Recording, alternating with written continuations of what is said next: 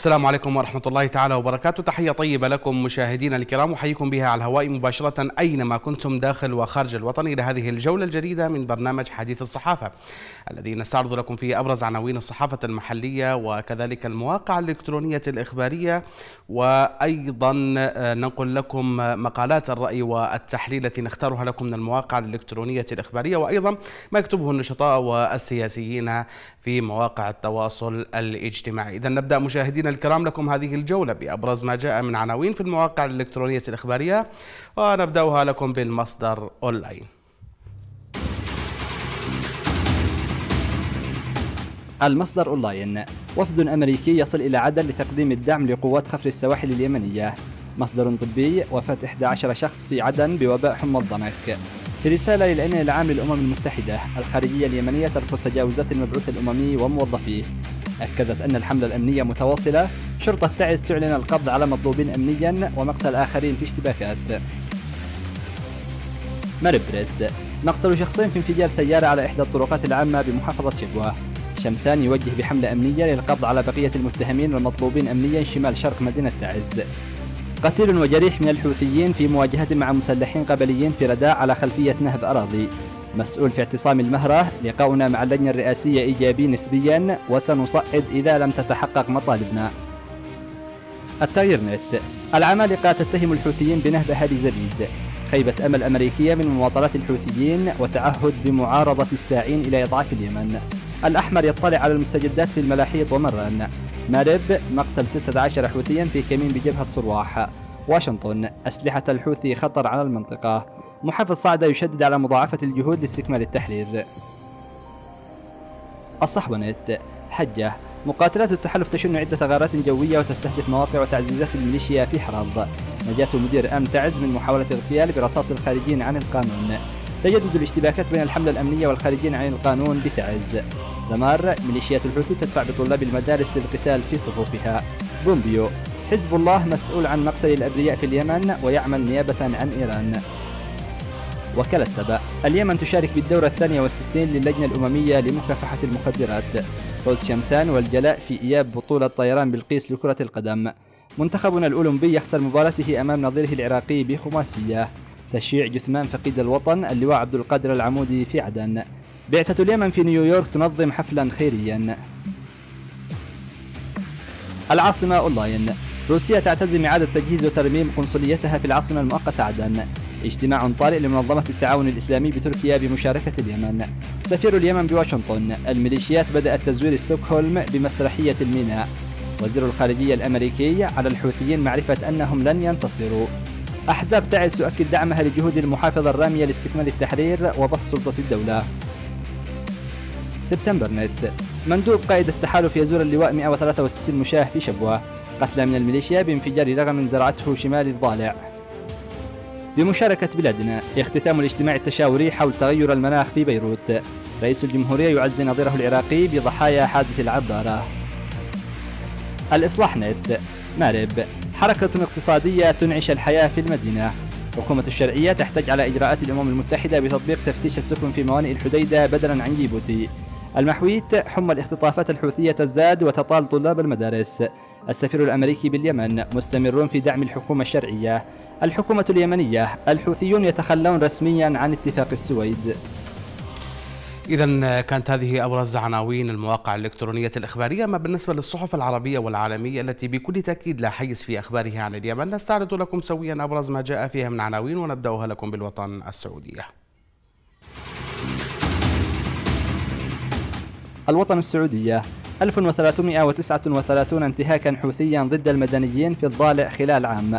الحوثي يصعد في الحديدة إغلاق مستشفيات وفرض إتاوات. قصف الحوثيين للأحياء السكنية في الضالع. العربية نت واشنطن. أسلحة الحوثي خطر على المنطقة. رسالة احتجاج يمنية للأمم المتحدة ضد تجاوز غريفث لمهامه. الاتجار بالبشر اليمنية الإنقلابيون اختطفوا 160 امرأة. إذا كانت هذه أبرز عناوين المواقع الإلكترونية وكذلك الصحف العربية والعالمية. والآن مشاهدينا الكرام إلى مقالة الرأي والتحليل التي نبدأها لكم بمقال نشر على آه، جريدة الإهرام المصرية لوزير الخارجية آه، خالد اليماني متحدثا عن اتفاق ستوكهولم في السويد وعن الإخفاقات التي سعت من خلالها ميليشيا الحوثي الانقلابي لإفشال مشاورات السويد وعدم جديتها في تطبيق ما اتفق عليه في مشاورات السويد للسلام وعن عراقيلها وتاريخها في عراقيل كل مشاورات السلام وأيضا عرج على حديثه في أو مشاورات الكويت وكيف أخفقتها أيضا ميليشيا الحوثي الانقلابية. اذا آه، سلسلة من الإخفاقات والعراقيل كتب عنها وزير الخارجية خالد اليماني نتابع مقاله الذي نشر على جريدة الإهرام المصرية.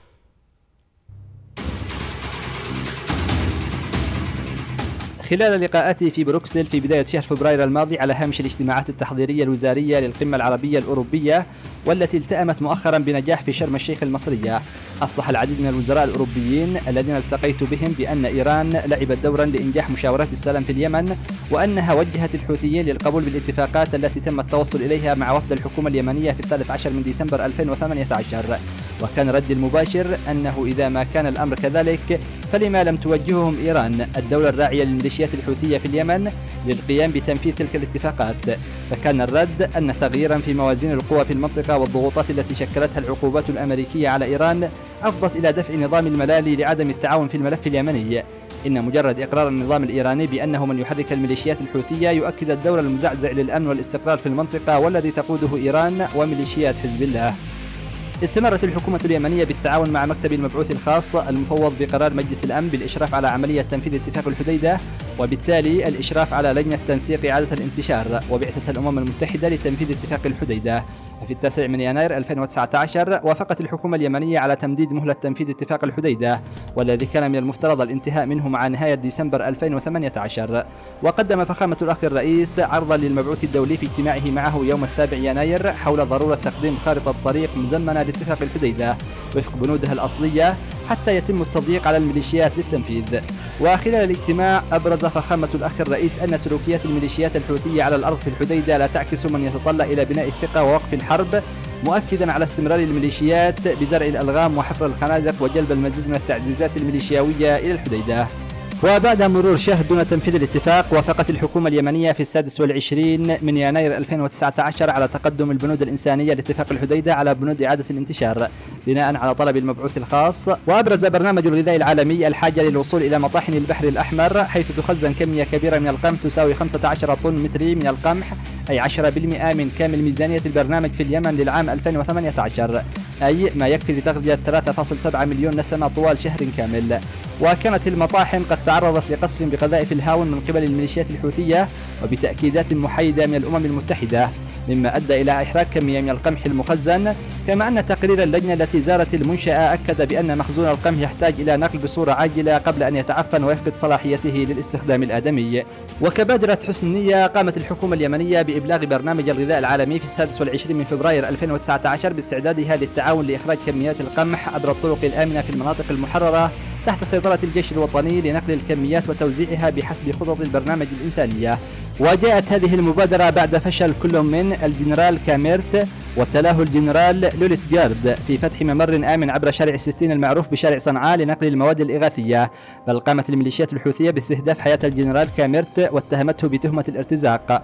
وفي محاولة لإنقاذ الاتفاق ورفع الذرائع والأعذار الحوثية وافقت الحكومة في الحادي والثلاثين من يناير على طلب الأمم المتحدة بتغيير رئيس لجنة تنسيق إعادة الانتشار والذي كانت له تصريحات قوية عقب مغادرة المنصب وجه فيها الاتهام للميليشيات الحوثية بعرقلة جهود تنفيذ اتفاق ستوكهولم حول الحديدة. وبالرغم من كل المواقف المرنة التي أدتها الحكومة واستعداد الفريق الحكومي للمخاطرة بحياة أعضائه والذهاب لاجتماعات لجنة تنسيق إعادة الانتشار إلى مناطق سيطرة الإنقلابيين وتعرضهم للاستهداف المباشر في أكثر من مناسبة وبشهادة الأمم المتحدة. ورفض الطرف الانقلابي المشاركة في الاجتماعات التي دعا لها رئيس اللجنة الجنرال لوريس جارد في مناطق سيطرة الجيش الوطني. انكب الوفد الحكومي مع الجنرال الذي قضى شهر فبراير في صياغة خطة بسيطة لمباشرة المرحلة الأولى من إعادة الانتشار في خروج واضح عن الصيغة التي تمخضت عن اتفاق ستوكهولم. والتي تلخصت في انسحاب الميليشيات الحوثية من موانئ الصليف ورأس عيسى فيما تنسحب القوات الحكومية من مثلث الكيلو 8 الاستراتيجي وقبلت الحكومة الانسحاب لما يقارب 4 كيلومترات من منطقة حيوية في عمق المدينة فيما يشكل انسحاب الميليشيات من موانئ الصليف ورأس عيسى انسحابا ضمن مساحتهم العملياتية العسكرية. وفي العاشر من مارس وبعد اجتماعات متكررة للمبعوث الخاص خلال ست زيارات إلى صنعاء للقاء قيادة الميليشيات التي دأبت على إرسال التطمينات وتقديم الموافقات فيما تترك لميليشياتها في الحديدة رفض كل خطوة باتجاه تنفيذ الاتفاق. وفي ضوء اجتماع هام عقده المبعوث مع نائب رئيس الجمهورية في الخامس من مارس 2019 قدمت الحكومة اليمنية رؤية لحل إشكاليات الأمن في المناطق التي سيتم الانسحاب منها ريثما يتم حسم الأمر في المرحلة الثانية. وتتلخص الفكرة التي تنطلق من صلب القرارين 24 51 و 24 52 في قيام لجنة مشتركة من الأطراف الثلاثة للرقابة على الانسحابات من موانئ الصليف ورأس عيسى ومثلث الكيلو ثمانية. وبعد أن قام الجنرال لوليس جاد بإبلاغ الأطراف لمباشرة التنفيذ طلب الجانب الحوثي منحه مزيدا من الوقت للتشاور. ولم يأتي الرد الحوثي إلا قبيل ساعات من عقد جلسة مجلس الأمن المغلقة التي دعت لها المملكة المتحدة في الثالث عشر من مارس 2019 فكان رد الحوثيين برفض المقترح الدولي والتهديد بتنفيذ الانسحاب من طرف واحد في تكرار لمسرحية ميناء الحديدة في التاسع والعشرين من ديسمبر 2018 وهي التسمية التي أطلقها الجنرال كاميرت على مهزلة الانسحاب الحوثي.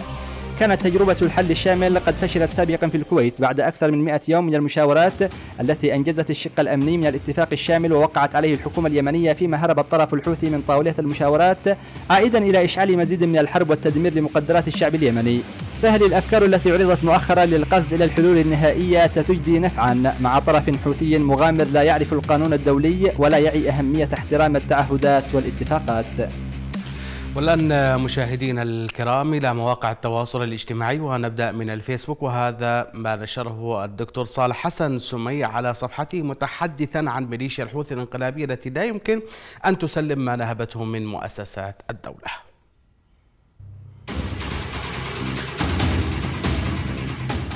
إذا صدقتم أن المتمرد الحوثي سينسحب من الحديدة سلما وسيسلمها لقوات الدولة التي كانت متواجدة بها قبل 21 سبتمبر 2014 فصدقوا أن ما ابيض من شعر رأسي قد تحول تحولا طبيعيا من اللون الأبيض إلى اللون الأسود وأن عمري البالغ 62 عاما ونيف قد عاد به الزمن إلى الوراء 30 عاما أو أكثر. كفانا خداعا للذات وتحسبا للوهم. وأكرم القدمي تحدث أيضا على صفحته بالفيسبوك عن ما يسمى بالمجلس الانتقالي الذي يتاجر بالقضية الجنوبية.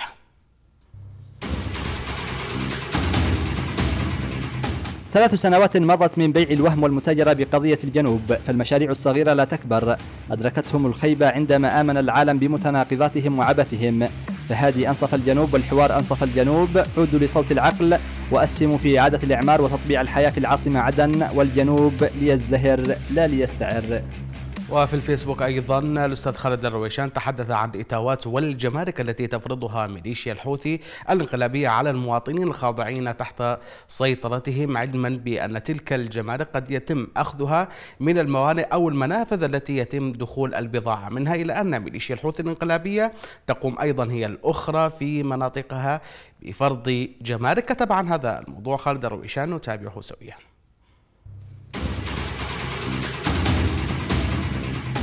جمارك صنعاء الانفصالية. تدفع جمرك سيارتك كاملا في ميناء عدن أو على الحدود العمانية. وتصل صنعاء لتفاجأ بأنك مطالب بدفع جمرك على السيارة مرة ثانية. وإلا سيتم حجز سيارتك وكأنك دخلت بلدا آخر. هذا إعلان للانفصال يا أولياء الشيطان. نعرف هدفكم النهائي. تريدون العودة لحكم الشمال؟ تنتظرون سقوط التفاحة بين أنيابكم. تريدون جز عنق التاريخ وذبح البلاد من الوريد إلى الوريد. تقسيم اليمن وسقوط الجمهورية وعودة الإمامة في نفس الوقت. كانت البداية حكومة حزيز الانفصالية قبل ثلاث سنوات ونصف. إذ لا معنى لحكومة في صنعاء وهناك حكومة شرعية يعترف بها العالم. لا معنى سوى تقسيم اليمن وتقطيعه. واليوم تجبرون المواطنين على دفع جمارك على السيارات التي جمركتها في ميناء عدن ومنفذ شحن في المهرة المجاعة تضرب البلاد وأنتم مشغولون بجمع الأموال والتخطيط لتقسيم البلاد. ركان الجبيحي هو الآخر تحدث على صفحته بالفيسبوك عن مسؤولية الحكومة بفرض الأمن والاستقرار في كل شبر من المحافظات المحررة وأيضا مسؤوليتها في تحرير ما تبقى من قبضة الانقلابية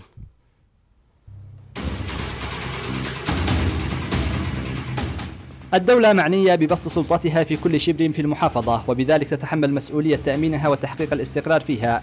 الدولة أيضا هي المخولة بضبط كل من يرتكب جرم وكل من يرتكب انتهاكا يؤذي المواطنين ويعرقل عمل الدولة ولها أجهزتها المعنية كل حسب اختصاصه. وبذلك كل من يستخدم القوة لمواجهة حملة أمنية أطلقتها الدولة يعد متمردا. ويتحمل كافة التبعات سواء في قلب المدينة أو شمالها وجنوبها والشرق والغرب. والآن إلى تويتر ونبدأ بتغريدة لوزير الإعلام الدكتور معمر الليريان الذي غرد عن منع ميليشيا الحوثي الانقلابية تداول العملة المطبوعة حديثا.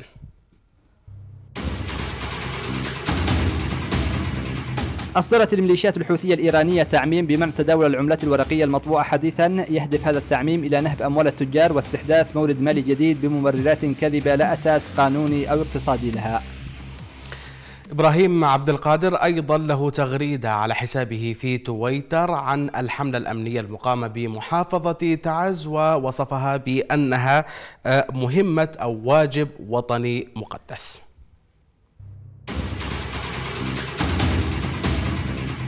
مساندة اللجنة الأمنية ومحافظة تعز لإلقاء القبض على القتلى والمارقين مهمة وواجب وطني مقدس. لتنظيف تعز ولكي تستعيد مدينة السلام سكينتها وعافيتها.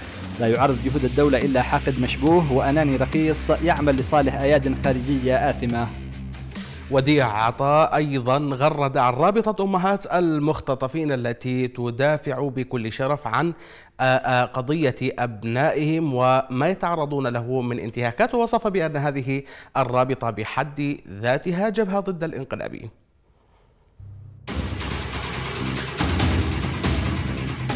تحية إجلال وإكبار لأمهات المختطفين أعظم وأشجع نساء اليمن قاطبة.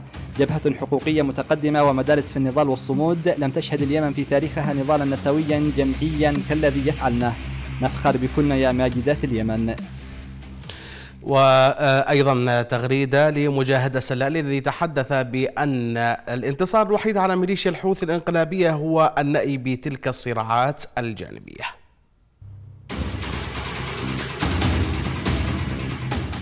ستتحرر باقي محافظات اليمن فقط حين تقف حرب المصالح وتتحد الجهود لقتال ميليشيات الحوثي والميليشيات الموازية لها في المناطق المحررة. أما طالما والميليشيات تنخر في المناطق المحررة دون محاسبة والمكونات تكل لبعضها البعض فاقرأوا على اليمن الفاتحة. أما الدكتور محمد جميح فغرد عن ميليشيا الحوثي الانقلابية وقال بأن لدى اليمنيين مشكلة داخلية مع ميليشيا الحوثي الانقلابية قبل تدخل التحالف العربي.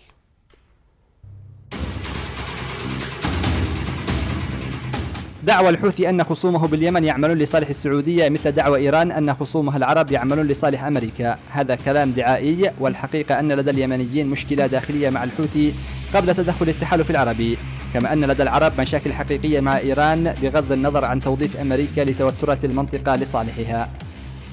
نختم لكم هذه الجولة مشاهدينا الكرام بتغريدة للدكتور رياض الغيلي الذي غرد عن الحملة الأمنية المقامة بمحافظة تعز. في تعز تحاول الدولة بقيادة المحافظ بسط نفوذها والحد من تغول الميليشيات. تعز لا تقبل إلا بحكم الدولة وترفض حكم الميليشيات. فلماذا يصرخ البعض من ذلك؟ هل أعجبهم البقاء في ظل الفوضى والخوف؟ إذا مشاهدينا الكرام بهذا نكون وصلنا إلى ختام هذه الجولة من برنامج حديث الصحافة. شكرا لكم على طيب المتابعة والإصغاء. تقبلوا تحيات محدثكم أحمد الفرحان. كما أنقل لكم تحيات طاقم البرنامج. اللقاء في حلقات قادمة. حتى ذلكم الحين أستودعكم الله. ودمتم ودام الوطن بألف خير. والسلام عليكم ورحمة الله تعالى وبركاته.